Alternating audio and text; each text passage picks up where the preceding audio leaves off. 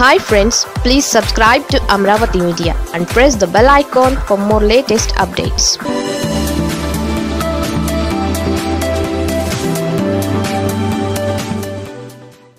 జగన్కు ఇంత ధైర్యం ఎక్కడిది? జాతీయ స్థాయిలో చర్చ. జగన్ పేరుకు మూడు అక్షరాలే కానీ మూడు చెరువుల నీళ్ళు ప్రత్యర్థులకు తాగించే దమ్ము ఉన్నవాడు.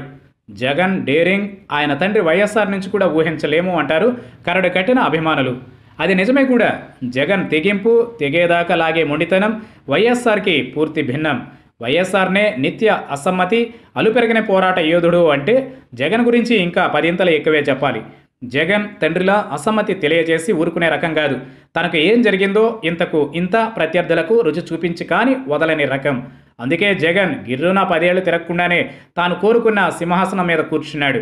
ఆయన ప్రత్యర్థులు మాత్రం పతనంలో పాతాళం అంచులు చూస్తున్నారు. జగన్ది దూకుడు అనిపించవచ్చు. కానీ పేరుకు ప్రజాస్వామ్యంగా ఉన్న ఈ దేశంలో ఏడు పదుల స్వాతంత్ర్యం పూర్తయిన తరువాత అధికారంలోకి వచ్చినవాడు జగన్.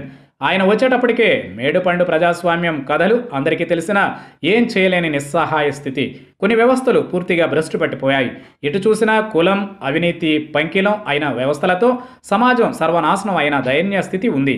జగన్ ఇప్పుడు ఒక్క రాజకీయ వ్యవస్థతోనే పోరాడడం లేదు. అనుబంధంగా ఉంటూ తనకు ఎదురు వస్తున్న అన్ని వ్యవస్థల మీద పోరాటం చేస్తున్నారు.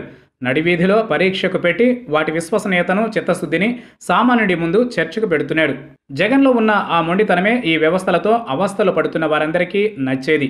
ఈ దేశంలో పెద్దవారు పలుకుబడి ఉన్నవారు ఒక రకమైన జీవితాన్ని ఏమీ లేనివారు మరో రకమైన బ్రతుకును గడుపుతున్నారు. అటువంటి వారంతా మన కర్మ ఇంతేనని సరిపెట్టుకుంటున్నారు తప్ప వ్యవస్థలతో పోరాడే ఓపిక తీరిక వారికి లేవు. కానీ జగన్ మాత్రం ఏకంగా మొత్తం వ్యవస్థలు ఉన్నవి ప్రజా శ్రేయస్కేనని నిరూపించడానికి రెడీ అవుతున్నారు. ఈ దేశంలో ఏ వ్యవస్థ అయినా ప్రజలు పన్నులుగా తమ చెమటను తీసి కట్టిన సొమ్ముతోనే నడుస్తోంది.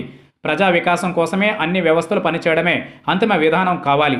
అటువంటిది తెలియని లింకులు డొంకలు పెట్టుకుని సాగుతున్న వ్యవస్థల వల్ల పేదవారికి ఏం ప్రయోజనం లభిస్తోంది అన్నది ఈరోజు మేధావులలోనూ వస్తున్న చర్చ. జగన్ వీటిని ముందుకు జరిపి అతిపెద్ద చర్చకు ఈరోజు ఆస్కారం కల్పిస్తున్నారు అనుకోవాలి. ఈ ప్రయత్నంలో ఆయన ఎందాకైనా అని అంటున్నారు. జగన్ ముఖ్యమంత్రి అవ్వాలనుకున్నది తండ్రికి వారసుడిగా మాత్రమే. అది రెండు వేల పది నాటి మాట. ఇక రెండు వేల పద్నాలుగులో సీఎం కావాలనుకున్నది ఈ దేశంలో రాజకీయ రాక్షసత్వాన్ని తుదముట్టించేందుకు. రెండు వేల పంతొమ్మిది నాటికి ఆయన ముఖ్యమంత్రి అవ్వాలనుకునేది మాత్రం రాజకీయ వ్యవస్థలో సమూల మార్పుల కోసం.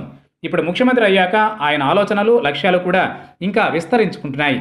రాజకీయ వ్యవస్థ చుట్టూ అల్లుకున్న అల్లిబిల్లి వ్యవస్థలలో మార్పు కోసం జగన్ కఠిన దీక్షతోనే ముందుకు సాగుతున్నాడనుకోవాలి నిజానికి ఈ దేశంలో మార్పులు అంత తొందరగా రావు.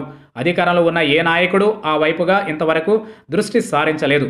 కానీ ఒకే ఒక్కడిగా ఇన్నాళ్ళకు స్వతంత్ర భారతదేశంలో ఉన్న అన్ని వ్యవస్థలలో మార్పు కోరుతూ విప్లవ శంఖమే పూరిస్తున్నారు. చిత్రం ఏంటంటే జగన్ కారణంగా ఇప్పుడు కీలకమైన వ్యవస్థలలో లోపాలు సగటు జీవి నుంచి మేధావుల వరకు చర్చకు వస్తున్నాయి. ఇది జగన్ మొదలుపెట్టిన యాగం. జగన్ పంతానికి పర్యవసానాలు ఎలా ఉంటాయో వేచి చూడాల్సిందే.